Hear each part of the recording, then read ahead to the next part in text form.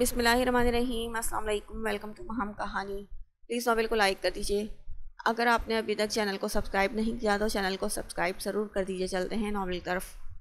जरियान उठा और आना का हाथ थामता बाबा के सामने ले आया। बाबा, ये मेरी बीवी है। चार दिन पहले ही हमारा निकाह हुआ है। बस कुछ एमरजेंसी की वजह से मैं आपको बता नहीं सका। मुझे माफ़ कर दीजिएगा। वो घुटनों के बल उनके सामने बैठता उनको समझाने की कोशिश करने लगा। आलम साहब जो इतनी देर से उसे आना की, उसे अज़ा की दोस्त समझ रहे थे, जरियान की बीवी के रूप में देखकर गुस्से से लाल हो गए। एक बार फिर उसने हमेशा की तरह उनसे कुछ पूछना ज़रूरी नहीं समझा था। अपनी मनमानी की थी। जब तुम्हें सब कुछ खुद ही करना था तो माँ बाप को बताने की भी क्या ज़रूरत है बेटा? उन्होंने कहा तो लहजा काफ़ी सर्द था। नहीं, बाबा, इससे पहले कि वो कुछ कहता, उसे आना की आवाज़ सुनाई दी। आपके बेटे ने ज़बरदस्ती निकाह किया है मुझसे। मुझे मेरी शादी में, मुझे मेरी शादी से अगवा कर लिया था और अपने घर में बंदी बनाकर रखा। उसे मौका मिला था तो वो कैसे गंवाती? इसीलिए सारी हकीकत आलम साहब के सामने रख दी। उन्होंने कहर बार नज़रों से जरियान को देखा और अज़ा का हाथ पकड़े उसे लिए गाड़ी में बैठ गए। जरियान ने उन्हें रोकने की बहुत कोशिश की, लेकिन वो चले गए थे। जरियान ने उसे देखा जिसकी आँखों में आँसू थे। उसका दिल किया इस लड़की को जान से मार दे, लेकिन गाड़ी में बैठा और ख़ुद भी बाहर कहीं निकल गया। अगर वो रुकता तो यकीनन बहुत बड़ा नुकसान हो जाता, इसीलिए वो घर से ही बाहर निकल गया था। सबके जाने के बाद आना भी दूसरी गाड़ी में आकर बैठ गई तो ड्राइवर ने खामोशी से गाड़ी चला दी। शायद उसे पहले ही जरियान ने समझा दिया था, इसीलिए आज किसी ने उसे रोकने की कोशिश नहीं की थी। वो जैसे ही दुबई एयरपोर्ट से बाहर निकला, हर कोई मुड़ मुड़ कर उसे देख रहा था। ब्लू जून, ब्लू जीन्स के साथ वाइट शर्ट पहने बिखरे बालों के साथ वो बहुत वजी लग रहा था। ऊपर से उसके भींचे होंठों की वजह से उभरता उभरता दिल सबको अपनी तरफ़ खींच रहा था। आप जानते हैं आपके पोते ने क्या गुल खिलाया है? शहर में शुरू से ही उसकी हर जिद पूरी करके आप लोगों ने उसे खुद सर बना दिया है। आज उसको किसी की ज़रूरत नहीं, हर बार अपनी मर्ज़ी करता है। किसी की बेटी को ज़बरदस्ती अगवा करके निकाह किया है। उससे मिलकर कुछ देर पहले ही वो अज़ा को लेकर हवेली पहुँचे थे। सब लोग अज़ा से मिलकर बहुत खुश हुए थे। हाले तो अज़ा को देखकर ही ठीक हो गई थी। बीजान और मामा की खुशी का कोई ठिकाना ही नहीं था। सारा बेगम आशिर और नेहा के साथ अपनी नन के घर गई हुई थी। मिलने इसीलिए उनसे मुलाकात नहीं हो सकी थी अज़ा की। थोड़ी देर के बाद हाले और अज़ा को आलम साहब ने कमरे में भेज दिया था। अब वो सब, अब वो सब पर भड़क रहे थे। जरियान की हरकत पर कल को लोग आकर हमसे सवाल करेंगे, क्या ऐसी परवरिश की थी हमने उसकी के किसी की बहन बेटी को यूँ अगवा करे? अगर वो लड़की उसे पसंद थी भी तो हमसे बात कर सकता था। क्या हमने कभी किसी चीज़ के लिए मना किया है। उनका गुस्सा किसी तौर पे कम नहीं हो रहा था। बी जान और दादा जान आलम का गुस्सा कम करने की कोशिश कर रहे थे, जबकि फ़ायज़ा बेगम सर झुकाए बैठी थी। क्योंकि वो सब पहले से ही जानती थी। उन्होंने जरियान से कहा भी था कि अपने दादा जान और बाबा से इजाज़त लेकर करो, लेकिन जिस कदर जल्दी में सब हुआ इसने सबको बाद में मनाने का सोचा था। उसे नहीं पता था मामला इतना बिगड़ जाएगा। उसे और उसकी बीवी को हवेली बुलाओ। दादा जान ने फैसला सुनाया, जो आलम साहब को तो हर किस पसंद नहीं आया था। नहीं बाबा, अब उसका हमसे कोई वास्ता नहीं। वो इस हवेली में नहीं आएगा। मेरी वाली गलती मत दोहराओ आलम। ऐसा ना हो मेरी तरह खाली हाथ रह जाओ। उन्होंने उसे बहुत कुछ बावर करवाया तो वो खामोश हो गए। ठीक है, जो मर्ज़ी आई करें। आप लोग, वो कहकर हवेली से निकल गए। वो अपने घर आई थी, नाराज़गी अपनी जगह, लेकिन इस हालत में राहिमा बेगम को अकेला नहीं छोड़ सकती थी। लेकिन उसके घर में एक दूसरे फ़र्द का इजाफा देख वो चौंकी थी। फिर अम्मी ने बताया कि वो जरियान के घर काम करने वाली रेशमा की बहन है। रशीदा बेवा है। उसकी एक बेटी भी थी आठ साल की। वो बहुत बापर्दा खातून थी और राहिमा बेगम का अकेले रहना भी ठीक नहीं था। इसीलिए जरियान ने उसको उनके घर रखवाया था, ताकि तन्हाई का एहसास भी ना हो और इस औरत का भी भला हो जाए। उनके बार बार मना करने के बाद भी घर की हर ज़रूरत का सामान उसने रखवाया था। जरियान ने तो उनको कहा था कि साथ चल के उनके साथ रहे, लेकिन वो राज़ी नहीं हुई। ये सब सुन के उसे अपनी सुबह वाली हरकत पर अफसोस हुआ, लेकिन सर झटक दिया। उसने कुछ गलत तो नहीं कहा था। जो सच था, सिर्फ़ वही बताया था। थोड़ी देर वो उनके साथ बैठी बातों में मसरूफ़ रही। अम्मी उठे, हमें अस्पताल जाना है। उसने अपनी अम्मी से कहा, अरे बेटा, कल ही तो मुझे जरियान एक बहुत बड़े अस्पताल लेकर गया था, दवाई भी ली। डॉक्टर ने कहा कि अगर प्रॉपर मेडिसन लोगी और खुश रहूँगी तो जल्दी ठीक हो जाऊँगी, तुम परेशान मत हो। वो तो जरियान नामे से ही तंग आ गई थी। इसे क्या लगता है, ये सब करके वो मेरे दिल में जगह बना लेगा? गलत फहमी है उसकी, वो कुछ भी कर ले, लेकिन मेरी नफ़रत किसी तौर पे कम नहीं होगी, क्योंकि वो मिर्ज़ा ख़ानदान का है। उसने सोच लिया था कि उसका एक एक रुपया अदा कर देगी। उसने दिल में सोचा और राहिमा बेगम से मिलकर घर से निकल आई। ड्राइवर को उसने पहले ही बोल दिया था कि वो ख़ुद कॉल करके बुला लेगी, लेकिन बाद में ख्याल आया कि उसके पास फ़ोन ही नहीं, इसलिए वो कॉल ना कर सकी और रक्शे में बैठ के घर के लिए निकल गई। अभी आधे रास्ते पर ही पहुँचे थे कि एक गाड़ी ने उनका रास्ता रोक लिया और इसमें से पाँच हट्टे कट्टे मर्द निकल आए, जिनके हाथ में गन थी। रक्शे वाले के साथ साथ वो भी घबरा गई। उसने फ़ौर अपना मुँह छुपा लिया दुपट्टे से। उनमें से एक आदमी आगे आया और उसे कुछ समझने का मौका दिए बिना बाजू से दबोच कर खींचते हुए गाड़ी की बैक साइड पर फेंका। वो चीखती रह गई, लेकिन उनमें से एक ने उसके मुँह पर टेप लगा दिया और गाड़ी अपने रास्ते पर चलने लगी थी। रक्शे वाला तो गन देखकर ही चुप हो गया था। वो ऑफ़िस में किसी फ़ाइल में पूरी तरह गर्क था। मोबाइल बीप भी उसने, मोबाइल की बीप पर उसने नाम देखा तो सेकंड से पहले कॉल उठाई। यकीनन ख़बर जंगल में आग की तरह फैल चुकी है। यकीनन, अस्सलाम वालेकुम दादा जान। वालेकुम सलाम, बरखुरदार। कल शाम से पहले पहले आपको हवेली में मौजूद होना है। अपनी बीवी के साथ। अपनी बात कहकर इससे पहले कि वो कुछ कहता, दादा जान ने खटक से कॉल काट दी। दादा जान ने कहा था तो लाजमी जाना था। कुछ सोच के वो घर के लिए निकल गया। तुम्हें नहीं आना चाहिए था यार, मैं संभाल लेता यहाँ। दिल शेर ने उससे कहा जो काफ़ी, कॉफ़ी बना रहा था अपने लिए। बस यार, दोनों मिल के करेंगे, काम तो ज़्यादा अच्छा होगा। और तुम क्यों बार बार मेरे आने पर होल रहे हो, जैसे यहाँ मलाइका को बुलाने का इरादा हो। तुम्हारा दिल शेर की बार बार की रट पर उसे गुस्सा ही आ गया था। अस्तफ़रुल्ला ऐसे बुरे दिन तो मेरे आए नहीं, मैं अलबत्ता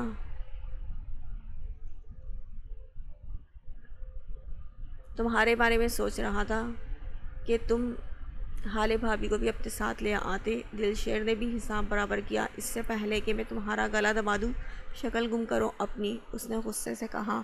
एक तो इस मासूम का ख्याल उसे चैन नहीं लेने दे रहा था। इसी से भाग कर तो यहाँ चला आया था और यहाँ भी इसी का ज़िक्र उसे गुस्सा दिला गया था। अच्छा अच्छा चल, उनको छोड़, जाइश को बुला लो, आखिर को दिल का करार जो है, वो आपके रूहान ने खींच कर थप्पड़ उसकी गुद्दी पे मारा। दिल शेर बेचारा तो गर्दन सहला कर रह गया। उसे इस कदर जुल्म की उम्मीद हरगिज़ नहीं थी। वो लोग उसे एक खंडरनुमा घर में लाए थे। उसे सब नज़र आ रहा था, लेकिन बोल नहीं पा रही थी। आँसू आँखों से बहने लगे। उसे खींचकर गाड़ी से बाहर निकाला और आगे चलने का इशारा किया। वो बहुत डर गई थी। वो उनकी बातों पर अमल करते हुए आगे चलने लगी थी। उसके दिल से पूरे रास्ते बस एक ही दुआ निकली, अल्लाह पाक बस कहीं से भी जरियान को भेज दें। इन हबशी नुमा मर्दों के बीच उसे अपनी जान निकलती महसूस हो रही थी। ऊपर से उनके हाथ में मौजूद गन ने कसर पूरी कर दी थी, वो बहुत मुश्किल से सांस ले पा रही थी।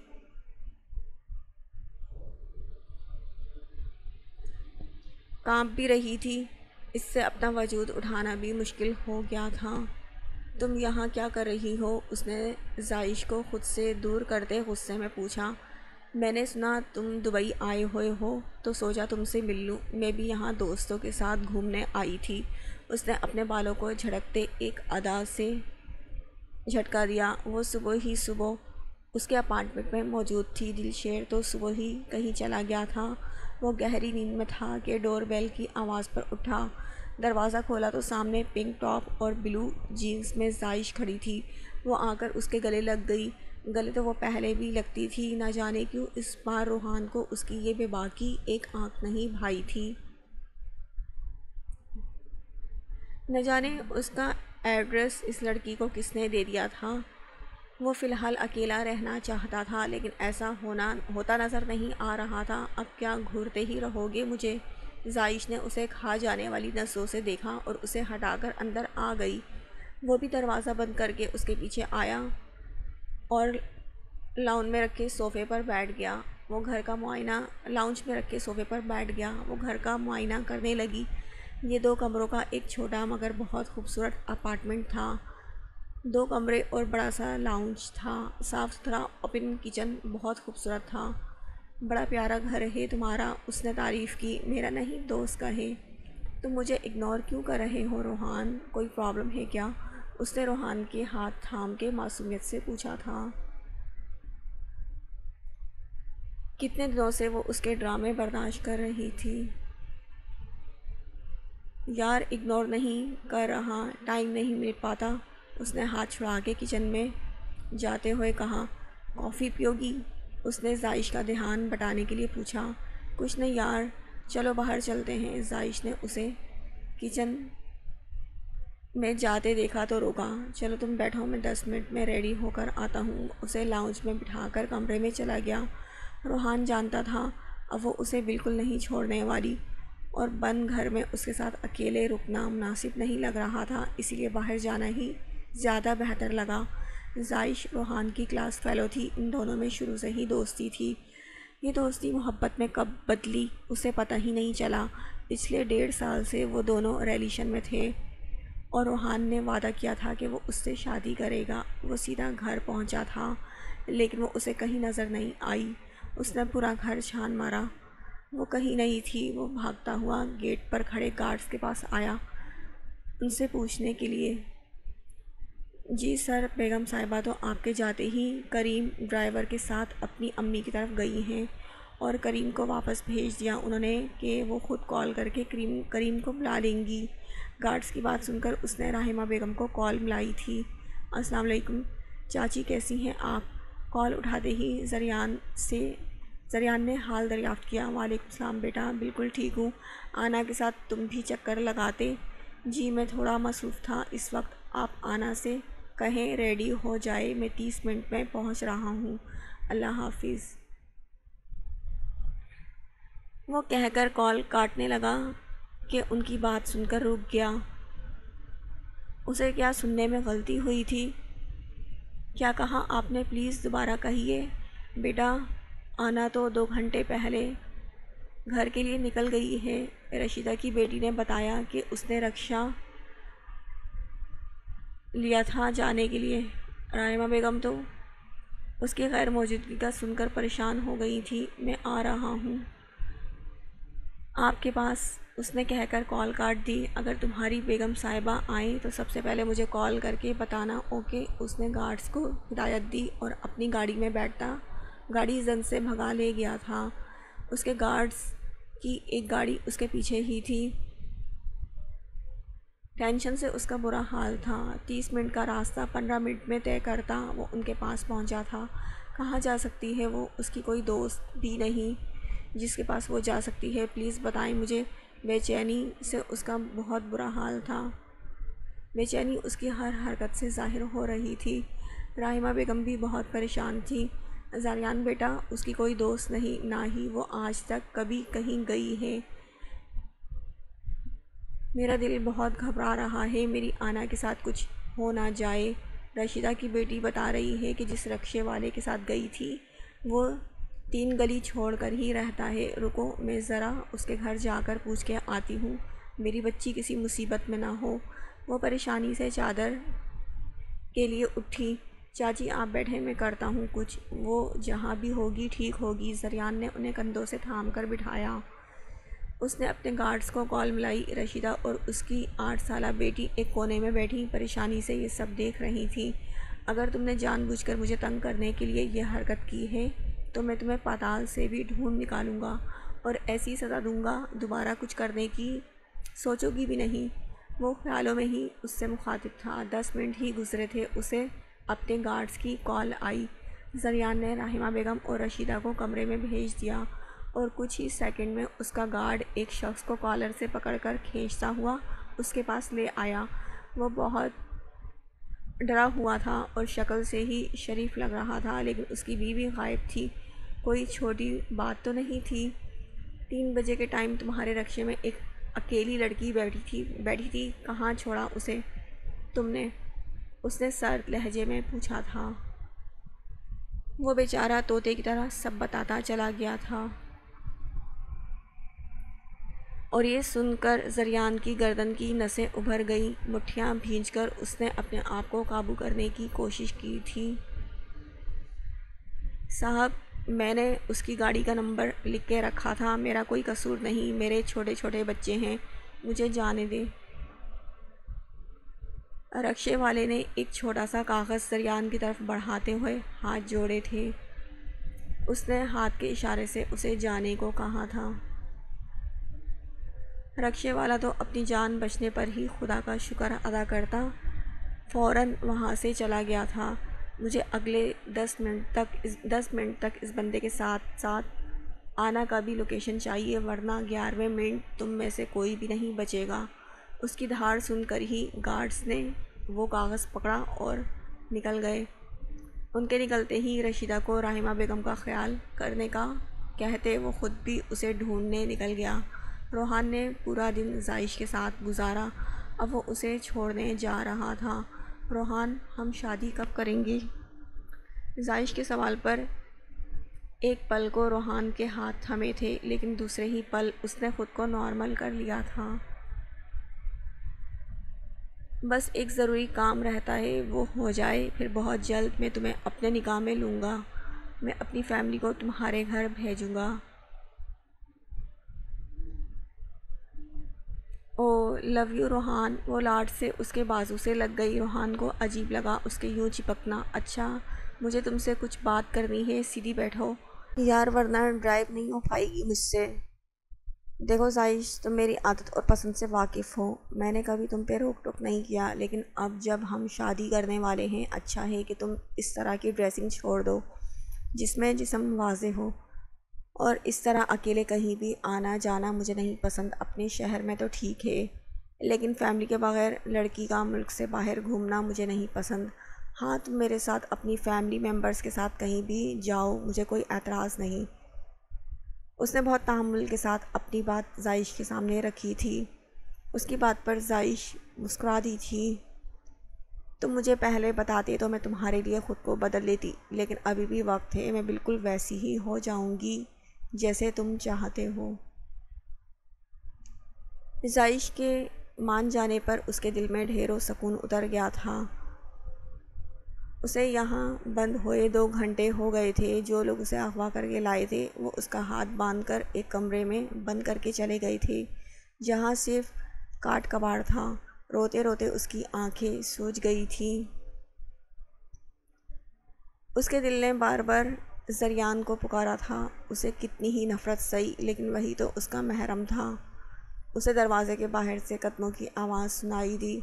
अब न जाने उसके साथ क्या होने वाला था। वो घबरा के खड़ी हो गई। सिवाय इज़्ज़त के उसके पास कुछ भी नहीं था। वो अपनी इज़्ज़त पे कोई आँच नहीं आने दे सकती थी। दरवाज़ा धड़ की आवाज़ से खुला तो आना ने सख्ती से अपनी आँखें मीच ली थी।